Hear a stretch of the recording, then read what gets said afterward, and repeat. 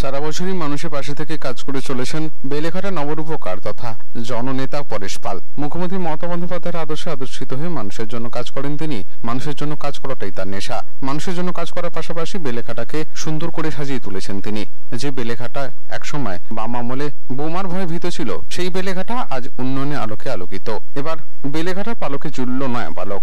শুক্রবার মহা ধুমধামে উদ্বোধন হয়ে গেল শিয়ালদহ ঘড়ি ঘরের বেলেঘাটা নবরূপকার পরেশ পালের বিধায়ক তহবিল থেকে তৈরি হয়েছে এই শিয়ালদহের নবনির্মিত ক্লক টাওয়ারটি। মহানগরী ফিরাদ হাকিম সাংসদ সুদীপ বন্দ্যোপাধ্যায়ের হাত ধরে। উদ্বোধন হয় এই ক্লক টাওয়ারটির। এছাড়াও এদিন উপস্থিত ছিলেন বিধায়ক স্বর্ণকমল সাহা, কৃষিমন্ত্রী শোভনদেব চট্টোপাধ্যায়, স্থানীয় পুরপিতা সচিন সিং, পুরপিতা আশুতোষ দাস, পুরমাতা চিনু বিশ্বাস সহ বহু বিশিষ্ট জনেরা। প্রত্যেকেই বলেন, এটা পরেশপালের দ্বারাই সম্ভব। হাওড়ায় যেমন ঘড়ি বিখ্যাত, তেমনি শিয়ালদায় এরকম একটি ওয়াচ টাওয়ার তৈরি করে এক নয়া মাইল ফলক তৈরি করলেন বেলেঘাটা নবরূপকার পরেশ পাল।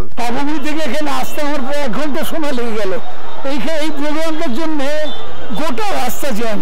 কত অ্যাম্বুলেন্স আমাদের গাড়ির পেছনে আসতে পারছে না। এত লোক আর এত সুন্দর একটা জিনিস হয়েছে না? দর্শনীয় জিনিস হয়ে গেল। আর পরেশ পাল মানে হচ্ছে নতুন কিছু সৃষ্টি করা, নতুন কিছু ক্রিয়েশন যা করে পরেশ পাল সেটি একটা দারুণ ব্যাপার।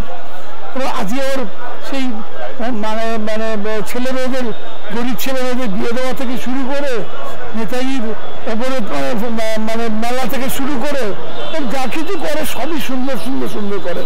এটা সবাই মিলে ওরা করেছে।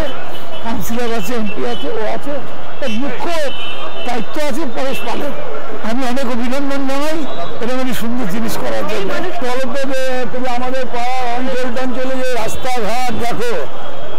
কিরম করে সাজানো। গাছ লাগানো, নারকেল গাছ লাগানো, সমস্ত অঞ্চলগুলোকে সাজিয়ে দেওয়া। আমরা সবাই আর আমাদের এই যে সাজানো বা গোছানো যা কিছু করার, এর পেছনে একটা লোকের মারাত্মক আশীর্বাদ আছে। সেটা হচ্ছে কবিতা আর সুদীপদাকে যখনই ডাকি, উনি ওদিকে দিল্লিতেও থাকে। যখনই ডাকি, উনি তখনই আমাদের মধ্যে আমাদের এনকারেজ করার জন্য বলতে গেলে ঠিকই। মমতা ব্যানার্জি, অভিষেক ব্যানার্জি, আমাদের সাংসদ সুদীপ বন্দ্যোপাধ্যায়। আমাদের বেলেঘাটার বিধায়ক পরেশ পাল আমার উপরে ভরসা রেখেছেন। ওনার ভরসা মানুষের সেবার জন্য সবসময় টোয়েন্টি ফোর ইন্টু সেভেন আমি এর আগেও বলেছি, আজকেও বলছি।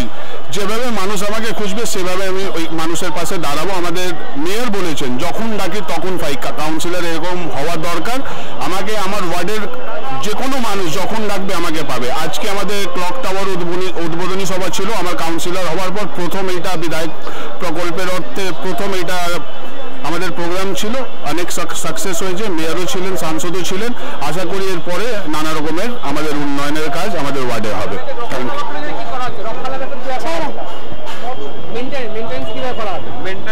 এখানে আমাদের একশো দিনের লোক রয়েছে সিও রয়েছে আমাদের সিও ওম প্রকাশকে আমি ডেকেছি। সঙ্গে এখানে একজন পার্মানেন্ট আমি একশো দিনের লোক রেখে দিয়েছি সেখানে এখানে দেখরেখাও করবে ব্যুরো রিপোর্ট চ্যানেল টেন।